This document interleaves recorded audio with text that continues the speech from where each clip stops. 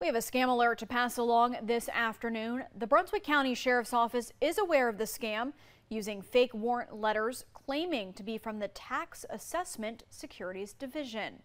This comes the same week the county has completed its revaluations of personal property for new assessed values.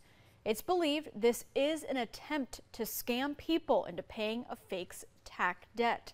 An important reminder is this is not an official notice from the Brunswick County Tax Office.